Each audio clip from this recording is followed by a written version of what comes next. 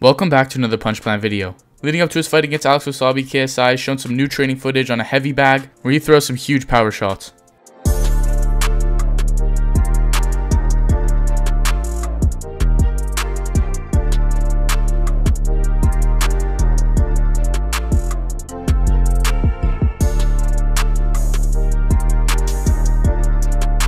So yeah, let me know what your thoughts are on this new footage from KSI. He's starting to show more and more as the weeks go on. And obviously he's back in the gym, back in training, and those power shots looked pretty good. So with that being said, thank you guys so much for watching. And if you enjoyed the content, be sure to leave a like and subscribe if you want to stay updated with everything YouTube boxing.